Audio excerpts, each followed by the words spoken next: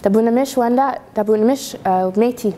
So, uh, hello everyone. In my language, I introduce myself. My name is Kelsey Leonard.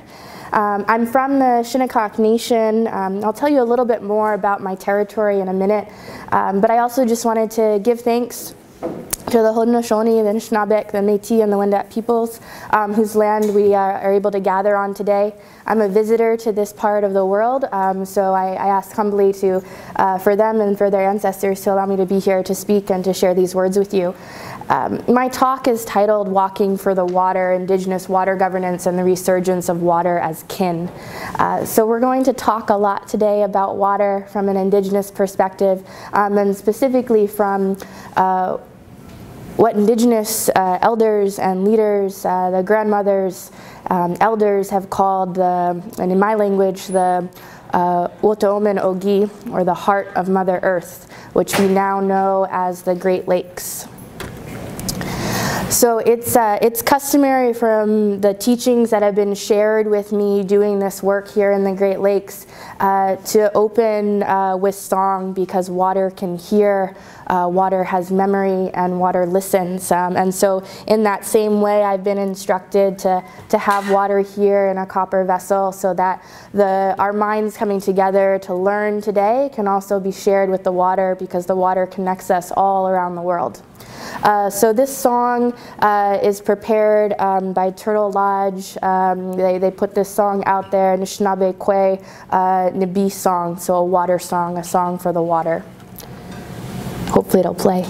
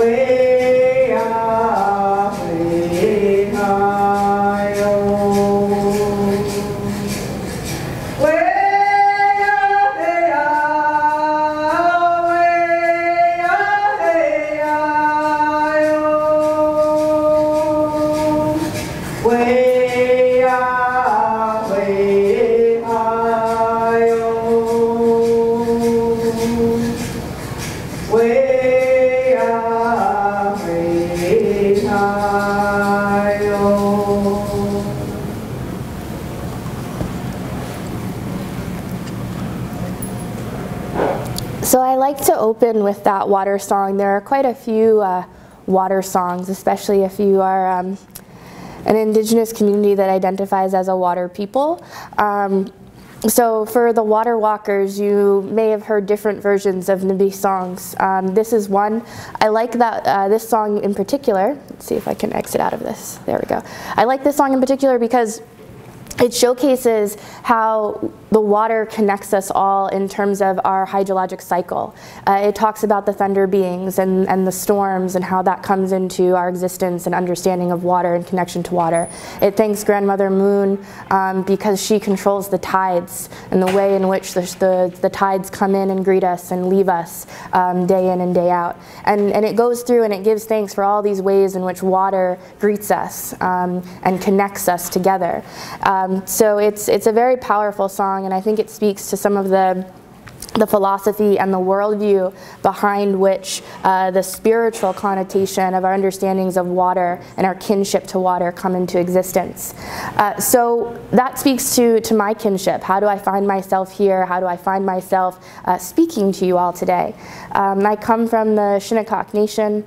Uh, our territory is that portion. Um, they're currently in purple, but originally it would have been all of this eastern end and southern shores of what we call Paumanok. Um, it's what you currently know as Long Island, New York. Um, but and that purple area is our current uh, reserve uh, where my family lives, um, an extended family, and uh, where I spent a, a, bit of my youth as well. And the interesting part about our territory is it's where freshwater meets saltwater. Um, and I think that that's been very foundational in the establishment of my career and in my research um, and in the protection and advocacy that I strive for for our indigenous uh, lands and waters as, as a global indigenous people um, is to be able to understand that connection to water, that it's not by bifurcated by um, what may commonly be known as salt or fresh, but that it's actually where we meet, um, that that uh, duality allows us to exist. Um, the other thing that we are known for traditionally is being whalers. Uh, we um, are some of the most preeminent whalemen from whalemen and whale women from uh, the turn of the uh, 20th century, um, but going prior to, to contact. Um, we have a spiritual connection to whales uh, that maintains itself to this day. Uh, but one thing that you might be more familiar with in terms of um, my people, um, or Shinnecock translates to people of the shore. Um, sometimes we're known as the people that, that stayed behind, and I like to say that I think that's because we knew the power of the ocean. We knew the power of that shoreland and that it was important to protect that while others migrated um, east, uh, west. Um, and potentially north as well. But one of the things that comes from our waters is the quahog shell. Um, that shell is what's used to carve wampum beads that have created the wampum belts for this part of the world. Um, it has to come from the Atlantic Ocean, and particularly in estuary and bays where fresh water meets salt water to enable that habitat, um, that uh, northern hardshell clam to grow. Um, that to me is a bit of how I see my trajectory as a scholar and as an advocate. Uh, coming to this part of the world, it's like a wampum bead that's been fashioned out of a clamshell. Coming from the Atlantic Ocean here to understand our diplomacy as indigenous nations in our modern society um, and how that bead um, in its fashioning can constitute our political understandings going forward. So all of that being said, um, there's a few things that led me to what I'm going to share with you today about water and kinship. Um, a big part of it was uh, a call to action that was put out um, by grandmother Josephine Mandamin and Joanne Robertson to um, count how many walks have happened since she started. And um, for those of you that don't know, grandmother Josephine passed away about a week or so ago. Um, she was put to rest, um, but she told us to keep doing the work. So one thing that is important with this is um, for some of our teachings, and for some folks' teachings, I want to be respectful of that, uh, to not share photos or not say her name. But she did say that she wanted us to do the work. And a part of doing the work is saying her name and sharing her story and sharing the pictures of all the work that um, she did along with others by her side. So I ask you humbly to, um, uh, to forgive me if in any way what you see today may be offensive in, in that nature and in your own healing and understanding if you did know Grandmother Mandamin. So before we get to any of that and to understanding our kinship, um, we have to understand a bit how it was severed. And I want to share something with you. So it's called We Do Not Consent. She woke up to excruciating pain. Every part of her ached and throbbed. She looked down and could feel the injection lines pumping her into submission. Unable to escape, she had been stripped until barren. Her green skirt ripped from her body. There were fresh bruises and cuts atop old scars. She lay naked and exposed in darkness as water flowed down. But in this darkness, what scared her most was that she was alone. She had always had her ancestors around her. She called out for them. Searching around her, she realized they too had been taken from her, excised from her existence, ripped from the ground beneath her. How could this happen to her? Would anyone believe her? They'd say she was too welcoming. She was too kind. She shouldn't have flaunted her beauty so much. That's what they say. Her generosity is weakness. Her beauty, not her own. She is property. But from the depths of her despair and the pillaging of her beauty, we will rise. We will stand for her, her indigenous children that call her mother. We are still here. We do not consent. So in an era of Me Too, cartoons like this started to emerge. Me Too, says Mother Earth. 67 environmental regulations to be reversed under the Trump administration. Similarly, things have happened here under the Ford administration. Reversals and ignorance that damage indigenous livelihoods, lands, territories, waters, and in fact all livelihoods, lands, territories, waters. But let's take a look at consent. What does consent actually mean? A concurrence of wills, voluntarily yielding the will to the proposition of another. Agreement, approval, permission. Consent is an act of reason, accompanied with deliberation, the mind weighing as in a balance the good or evil on each side. Submission under the influence of fear or terror cannot amount to real consent. As indigenous nations, We do not consent. We have not consented to the activities that have occurred in the Great Lakes since the establishment of the Boundary Waters Treaty in 1909, where we were not signatories or parties to negotiations. This map shows you over 97 indigenous nations that have occupied territories within the Great Lakes Drainage Basin. That doesn't account for the indigenous nations that are forcibly removed but have ancestral ties to this land and these waters. And if you take into account that number, it grows exponentially to over 200 indigenous nations, both on the imagined border, on the, both on the sides of the imagined border of Canada and the United States. So I turn to you. If you lived in a country where one out of every six people you met had drinking water too polluted for human consumption, what country would you be in? Thoughts? Can shout out names.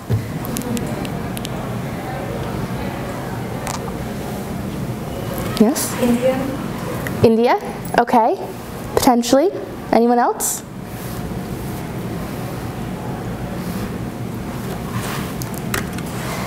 what we like to call here Indian country or Turtle Island. Um, one out of every six people of our nations are facing a water security crisis. This is, it's important to know that because that's also what inspired grandmother Mandamin to start walking for the water. Um, she is, um, she is, she was, she is always um, a part of the Three Fires Confederacy um, and the, the Three Fires Lodge for the Midewiwin Society. Um, that definitely informed a lot of her work, um, a lot of her understanding and philosophy around why the water should be protected.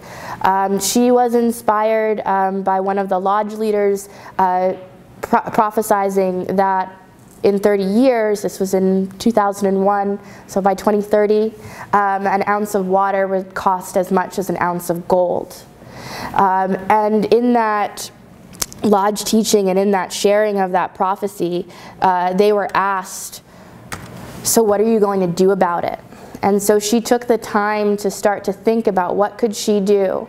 What could she do to protect the water, to change this prophecy that water would cost as much an, as an ounce of gold in 2030? And so after a long amount of deliberation and working with other, other women and other elders from her lodge and from her community um, of, of and other Anishinaabe nations um, around the Great Lakes, she decided that she was going to walk for the water in ceremony.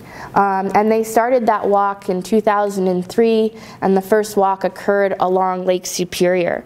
Um, she, uh, in her lifetime, walked all of the Great Lakes, over 32,000 kilometers, I think was the, the final marking. Um, and she walked all of the Great Lakes and some of them more than once. Um, and in addition to that, she uh, walked the entirety of the drainage basin. So she walked all of the lakes and then along the St. Lawrence out to the coast, uh, the eastern portion. Um, she also did the Four Directions Walk and was a part of that. So she walked a lot for the water um, and understood that the water connects us all and it's not just uh, there's a there's a um, a spiritual connection that many of the nations and in fact indigenous peoples throughout Turtle Island have to the Great Lakes because they do see it um, and see them as the, as the heart of Mother Earth. Um, and so I think she really embodied that in what she put forward for the values of, of water walking.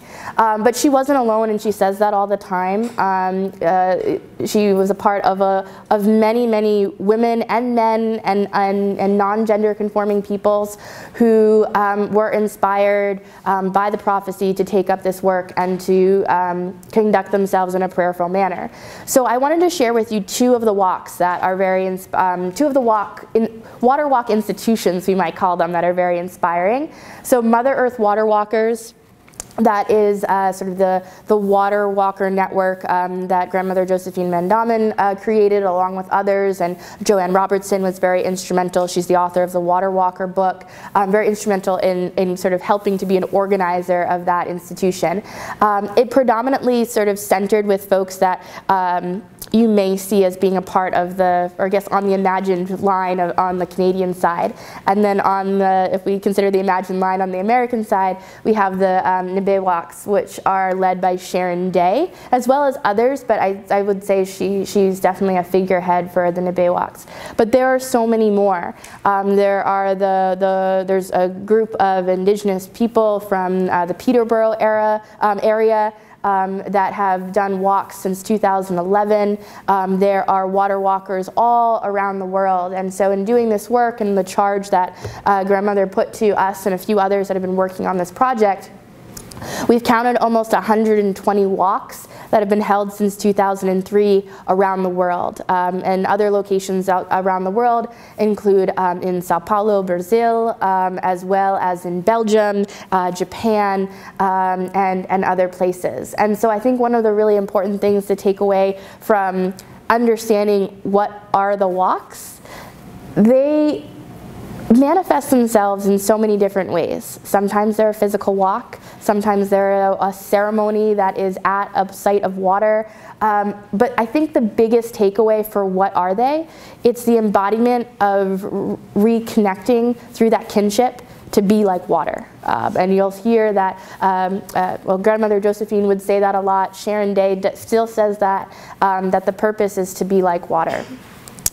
Um, but I think we wanted to delve a little bit deeper in talking with, with grandmother and with Joanne. We wanted to get a better idea of why people walk for the water. Is it to be like water or is there, is there another reason that they're inspired to take up this work and to take up this, um, th these types of prayers? And so we created a water walker survey that I'm going to share with you a bit of some of our findings from that survey today. Uh, we had about 100 participants that uh, took the survey. Um, there are thousands of water walkers around the world and they're very busy people, but we're, we are excited to have sort of this snapshot uh, from them of 100 different walkers from around the world who, um, who gave us their insights and their teachings as to why they do this, uh, do this work. Um, so for the Water Walkers survey, um, one of the things I wanted to, to share with you is whether or not uh, the water walkers are indigenous. Sometimes people think that um, it's only an indigenous uh, activity. And it was really interesting because uh, um, grandmother and others that I've spoken with over the past few years, they, they often say that when they first start out on the walks, um, non-indigenous folks would come up to them and like would be really unsure first what are you doing? And then second can I like once they heard what they were doing about praying for the water and trying to make sure that it's protected and that we fulfill our responsibilities as human beings on this planet they were like wow that's so cool. Can I participate? They were always so apprehensive that it was something that they couldn't be a part of. Um, and for the folks that we, we've spoken with and that we interviewed they were like no this is open to everyone. If you're a human on this planet, you're made up of water, then this water walks are for you. Um, and so when we took the survey, we actually had obviously more indigenous folks participating, but a fair amount of non-indigenous folks that also shared their insights. So um, when you look at some of the responses, it's important to consider that. Now, the other thing we've had asked of us is, is are water walks just for women? And there's this uh, kind of a, a, gendered understanding of indigenous relations to water. Um, but some of those understandings we weren't really sure if they were coming from indigenous peoples or if they were being sort of placed on us, a part of the sort of colonial structure, the settler colonial states understanding of the binary. And so when we sort of had survey participants we had quite a lot more female participants than male, um, but we also had folks that were non-gender conforming or a third gender, um, because in a lot of our indigenous nations, we, we don't exist on the binary of male and female. So we wanted to be open to that. I'll speak to this a bit more in terms of how gender comes into our understanding of water walks. Um, but what we also found in doing the survey is that we also needed to reach more males um, who were participating. And so we did that through um, some story sharing through interviews that I'll share with you later. So um, one of the things that was a really key takeaway was we were also trying to see if the water walks really were because of grandmother Josephine or if people were doing them original teachings. Um, so for the participants that, that uh, took the survey, um, most of them, so close to 90%, did say that they were inspired by Josephine. Um, but some of them, there was still a good portion that said no, they, they, they weren't really sure who, who, that, who that is, or maybe no, they had their own teachings or, or visions that had come to them to inspire them to do this prayerful um, uh, work. And so but overall, we did see that um, Josephine did inspire a lot of the participants. And so um, thinking about that, thinking about, but when, when she is asked, or when she was asked about this, she often said, well, it's, it's a part of our original teachings, at least for the, uh, for the Mide, and then um, for largely um, related to Anishinaabeg uh, peoples. Um, but then for some of the Haudenosaunee folks that we also interviewed and Métis folks that were a part of this, um, they also said that it resonates because it's a part of our teachings and it's, it's a new way of reconstituting that old kinship. Um, and so when we think about that kinship to water, uh, they really felt that the water walks were, were an old way that was being reclaimed um, inspired by Josephine. So um, one of the other things was how many water walks have people participated in. Uh, we found um, that majority of people had done one to two.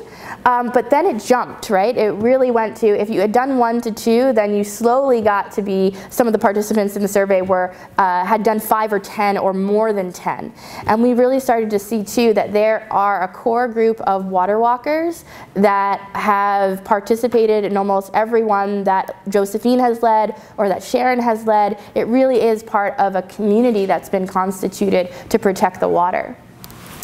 Um, the other thing we noticed is once people had participated in a water walk, they were extremely likely, uh, when they asked if, when asked if they were likely to participate in a water walk again, uh, majority of respondents said that they were extremely likely to do it again. So that number uh, keeps increasing after that first participation. Um, and that was corroborated as well by some of the interviews that we did. So you're probably asking yourselves, well, why protect the Great Lakes? Why do they feel inspired to, to do this work? Um, one of the things that I often hear from folks is a, a, negative connotation related to indigenous people when we talk about how the Great Lakes are threatened. Oh, they're just, they're just, that's those natives being activists. They're just trying to, you know, start something, riot, whatever. Um, and when I hear that, it's totally discounting all of the stories and knowledge that people are sharing on the ground, grassroots folks are sharing about the threats to the Great Lakes and the threats to the waters around them. And so a big charge in this research for me was to say, okay, well, how can we corroborate a lot of the things that are being said by um, respondents in the survey and by um, uh, participants in the interviews? So Firstly, um, we had, uh, this is data from the second binational poll of the International Joint Commission um, for the Great Lakes Water Quality Board. Um, they, uh, this is the second time doing this poll. They did it in 2015, and now uh, this poll has been redone in 2018. Um, it's the first time it actually includes indigenous, um, an indigenous sampling, a representative sampling of indigenous peoples, um, those that self-identify as First Nation, uh, Tribal Nation, or Métis. and and one of the key findings here is for indigenous uh, people when asked why they uh, think the Great Lakes should be protected, one of the key um, defenses or reasons was for, for the fish, um, to be able to protect um, the ecosystem, to be able to uh, stop the increase of development specifically around pipelines and oil infrastructure and also to protect for future generations. Now this in, the, in contrast to non-indigenous people who were polled, um, they found they wanted to protect their drinking water, they wanted to protect the water as a valuable resource so there's an economic valuation that's placed onto water um, and surprisingly or unsurprisingly almost 20% of non-indigenous respondents in this poll didn't have a reason to protect the lakes. They said, I don't know. So when we think about what indigenous people are facing and why we're walking for the water, um, it's to protect the fish, it's to protect the ecosystem, it's to ensure that these waters and lands are, are able to be passed down to future generations to maintain our cultural, political, and socioeconomic existence as nations in perpetuity. Um, but oftentimes when we say there's something wrong with the water, there's something wrong with the land, we know there's something wrong, but no one believes our indigenous um, voices when they're when they're shouting these uh, these claims. Um, so I did some some additional research. To try and corroborate this visually, and this is what you're seeing here.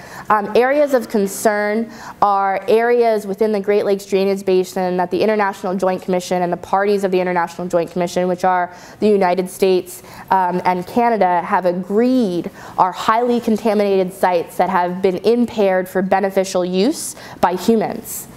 Um, there are uh, you can see from the blue squares here as well as the um, orange triangles and red dots, these are all of the areas of concern, these highly contaminated sites in the Great Lakes Basin that um, Canada and the United States have designated.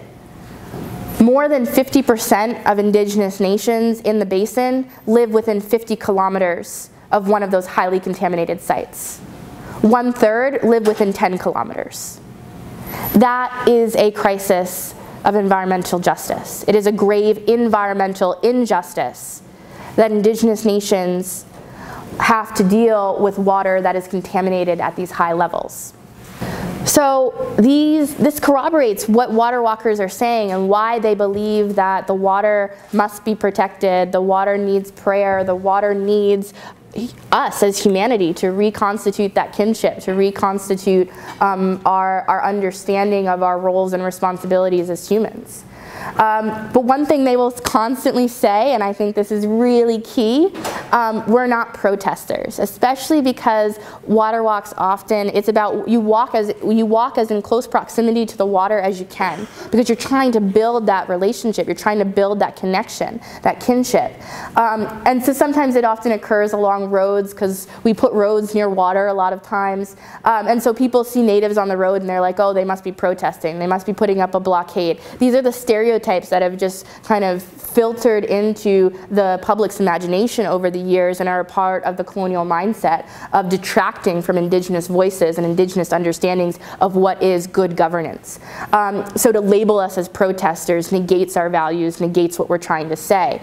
Um, but it also just, it's not factual. There's no truth to it. So for the water walkers, they're not protesters. Um, in the interviews, what they have said is that um, this is a part of a prayerful action. This is about prayer. It's about ceremony. Um, it's about being able to reclaim traditional teachings. Um, it's also about indigenous knowledge exchange. So, um, so much has been taken from us over the years that for many the water walks are an opportunity to, among indigenous people and non-indigenous people, to exchange that knowledge and to rebuild that knowledge that was stolen from us. Um, and it's also sharing and learning by doing. When we think about indigenous pedagogy, how we teach our young ones values and the, and the way in which they should be in the world, it's often by doing, it's not talking at them. And so for the water walks, that's a really important way that we enact that and embody that.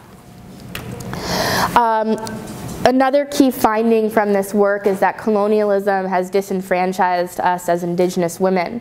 Um, it's done that through the residential schools, through Indian boarding schools, through the domestication of us as women, um, the, the, policies of domesticity teaching us that our role and our place is only in the house and as subjugated by property and by uh, a male counterpart. Um, that has severed, for many of us, that's severed ties to land and to water.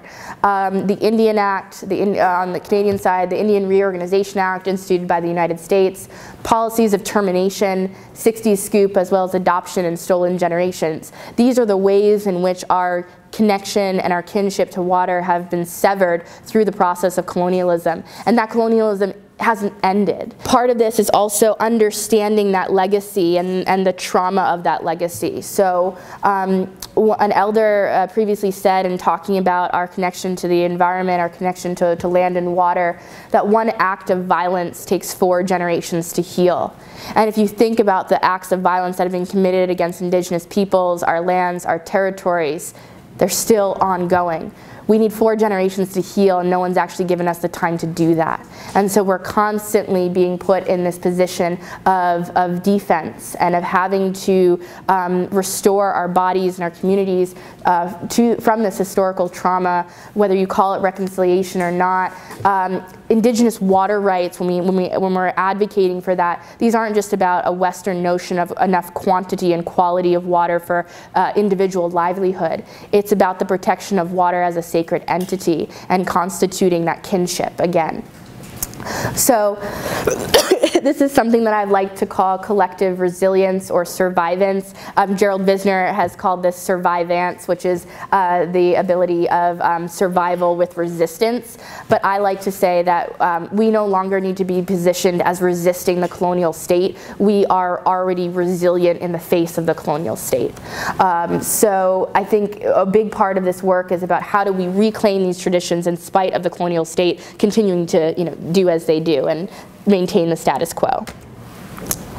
Um, another finding from this work is about living in the colonial binary. So again, it, it's about how do we create and reconstitute indigenous water governance on our own terms and not within the structure of the, of the colonial state. And a part of that is this binary that exists within, uh, within Western societies, um, that there is only male and female. Um, some of that there's a, there's a mixed understanding of that from uh, the folks that have participated in this research. There are men's roles and women's roles from some people's perspectives. Uh, sometimes the ideas around skirt teachings, who can wear a ribbon skirt, who can hold an eagle staff, um, have been very complicated points of, um, of understanding and knowledge mobilization within the context of water walks. I turn to, to folks who, um, like Sharon Day and like Josephine, who they wear they would sometimes wear skirts and sometimes not and they carried the staff when no one else was there to carry the staff. And what they said is that everyone has a role in in protecting the water. Everyone has a role in walking for the water. Um, and it's about balance and how you manifest that is um, it's okay to come to a collective understanding of that. And one's ideologies or teachings are not superior to another.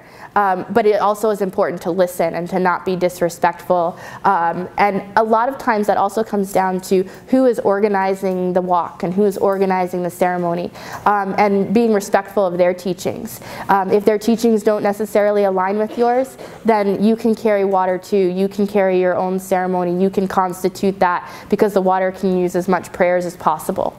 Um, and so that's a bit of, uh, of, some of the findings around this context of, of, the colonial binary. One thing though that did come out, and I don't necessarily know that this has to exist within our uh, sort of colonized understandings of gender, um, that there is a unique connection that um, women who are able to carry life do have, or that a human being that is able to carry life, because um, maybe technology will evolve at some point, but that, that ability to carry life, that connection of the womb and of water, um, and what is sort of a, a, teaching known as water is our first medicine because in, you are carried in the womb and in that water for nine months, and it's the first medicine that nourishes you before you come out into the world and are introduced to other, other medicines that that is very integral to how we understand uh, these ceremonies and our connection to water and building that kinship to water. And so, you know, one of the things that's really important with this and that um, a grandmother, Mary Lyons, she's also um, Anishinaabe she said, we all have that connection to water. It's not something that the water walkers just build or that they achieve by participating in a water walk. You have it when you're the, at the moment that you are given life on this planet. What we do is we lose the connection. We lose that, that kinship. And we have to do a better job in educating our young ones and in our understanding of ourselves as humans on this planet to not lose that connection from birth. And so there are really great folks who are doing amazing work around that. Educators, teachers who are trying to bring the teachings of the water walks into their classrooms. Uh, there's a movement right now called the Junior Water Walkers to make sure that our young ones don't lose that connection to water. That when they get some, when they get water out of the tap, they know where it's coming from and it's not just some magical thing that emerges from metal. That there really is a connection that is maintained. So some motivations, you're probably asking yourselves, okay, well, so what did they say why, for why they walk? Some people said it was for justice. Some people said it was about spirituality and spiritual healing.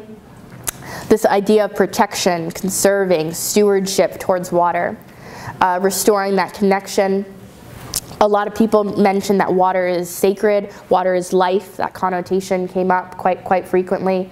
Um, some people also wanted to bring awareness to the general public. They felt that the walks were a great way um, for the public to try to understand indigenous knowledge in action um, and not just in sort of the, the, the atmosphere.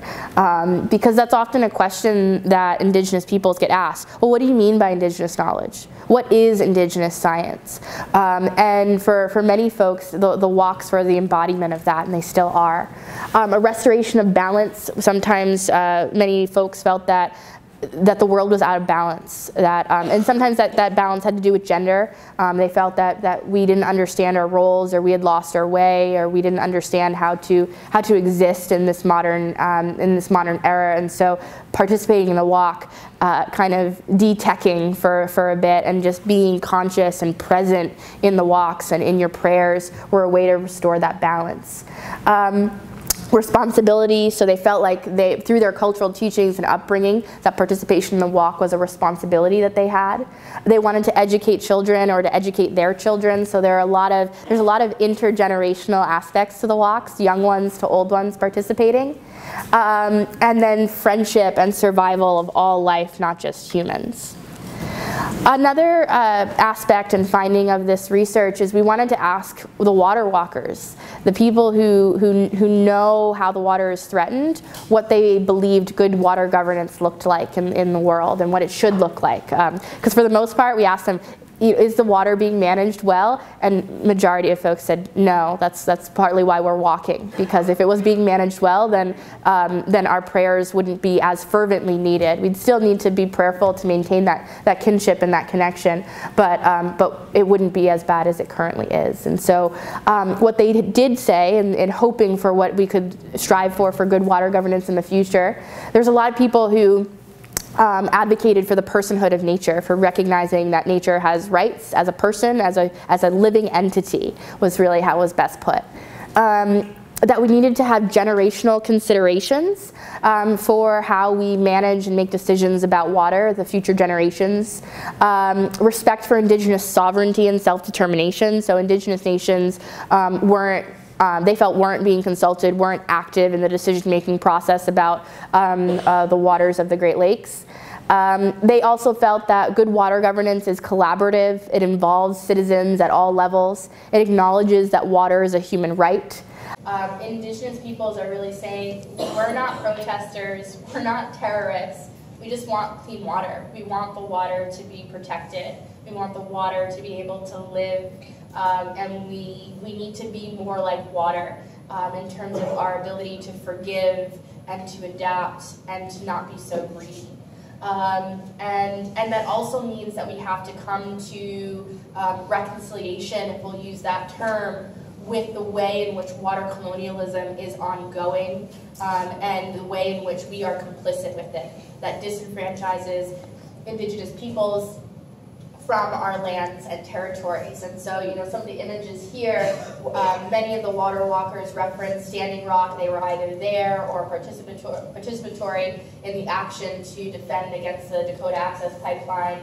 Um, but there are so many other types of actions that are happening around the globe. Um, this one is of the for the Klamath River. These are Hoopa children who are um, advocating for the decommissioning of dams. Um, there was new data that was released yesterday by a, um, a, global hydro project out of McGill University and other institutions um, that have that basically put this map out that shows all of the dam proliferation across the world. Um, highest concentration of dams in the world, do you know where it is? It's right here on Turtle Island. So if we think about the way in which water colonialism has severed our kinship as indigenous peoples, it's because it's, it's in large part due to this hydro proliferation, this proliferation of dams. And so we need to reconcile that before there can be any progress, before we can create a shared path and a shared future. So I also leave you with the fact that the future is bright and that the work will continue. Um, this is Autumn Peltier. Uh, she is Josephine's niece. Um, she is a water protector. She is a water ambassador. She spoke before the United Nations on World Water Day last year for the General Assembly. Um, and her message was, it's time for all of us to warrior up. And that's a big part of the water walks. We, the teaching is everyone has a role to fulfill.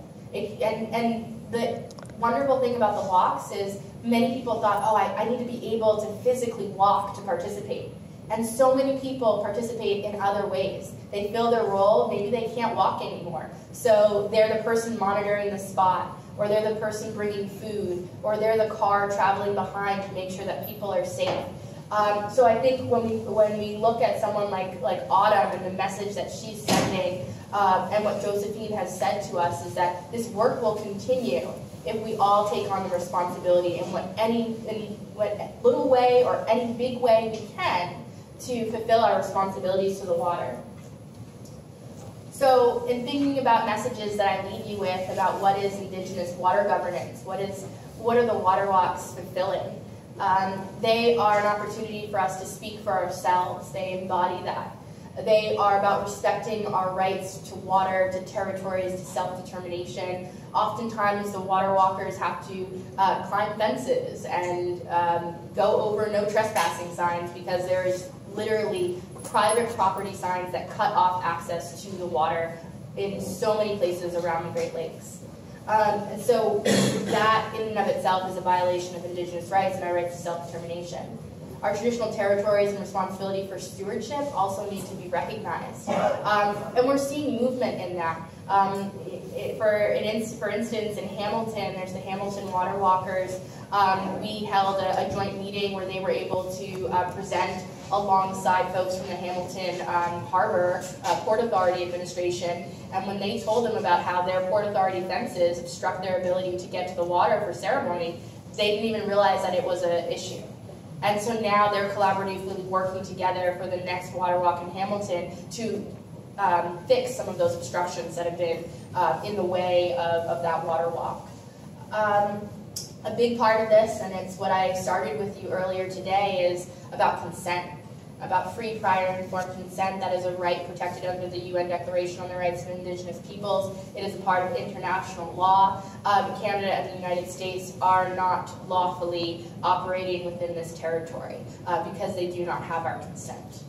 Indigenous epistemologies for caring for water also need to be respected and they're a part of how we govern um, meaningful nation-to-nation decision-making across geopolitical scales. So this is no this no longer can be a territory where it's just Canada and the U.S. operating um, in isolation. We are nations with a nation-to-nation uh, relationship, and our treaties constitute that um, and, and need to be respected. And lastly, that our knowledge, our understanding of what's threatening the water is valuable, is real. It's not something being made up um, we're not imagining it, and the data actually shows that we are um, corroborated in our concerns.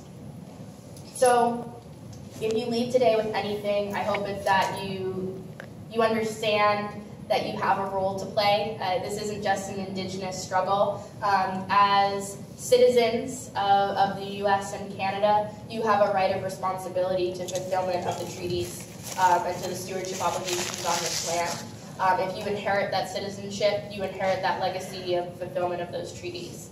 Um, and if not, then I think you're, you're failing as a citizen of the country. So it's important for us to honor the treaties. And lastly, I hope that you take some time in the next month or two um, to think about how you honor the earth, how you restore that kinship with water and with other non, um, what you might see as um, non-human relations um, all of these other living entities that are part of how we uh, exist on this planet. Um, and, and how you're fulfilling your right of responsibility to honor the treaties and protect the water every day, and potentially not just on what we like to call Ogikusuk uh, Earth Day. So, Tabuni, thank you, and um, if you have questions or comments, I'd be happy to take them.